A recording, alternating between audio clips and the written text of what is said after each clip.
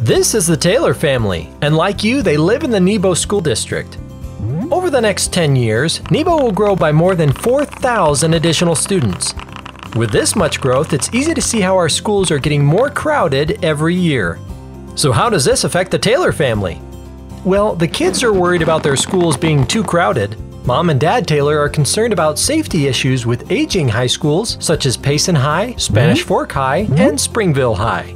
In addition, Grandma and Grandpa are worried about how the bond will affect their property taxes. Over the past year, Nebo asked for parent and community input through surveys. Parental input strongly supported 1. Return to the middle school model, 2. Create straight alignment patterns, and 3. Rebuild the three aging high schools. How will this help with student growth? Building three new middle schools will take 6th grade students out of the elementary schools and 7th grade students out of the junior high schools. This plan will reduce the need to build elementary and junior high schools in the near future. Our current alignment pattern is split between schools. Once the new middle schools are created, we'll be able to implement a straight alignment pattern. This concept will have 6th and 7th grade students together in middle schools, and 8th and 9th grade students together in junior high.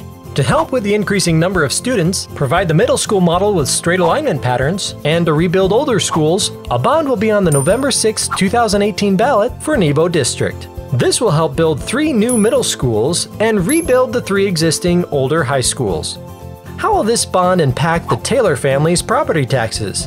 The bond will do a number of things, but the one thing it won't do is raise the property tax rate. How is this possible?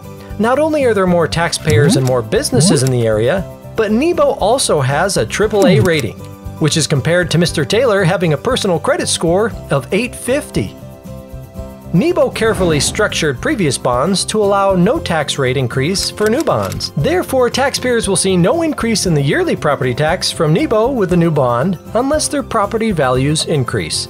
The 2018 bond for 298 million will provide 6 schools, 3 new middle schools, and the rebuild of the 3 older high schools. The bond funds can be used for building construction and not for employee salaries.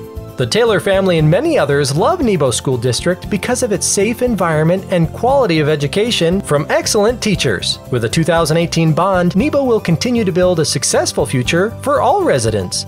With less crowded schools, the middle school straight alignment pattern, and the rebuild of older high schools, there are greater opportunities for Nebo students. The Taylor family and you can vote in one of three ways absentee, early voting, or simply walk into a polling location on November 6th and cast your vote. Thank you for your time and happy voting!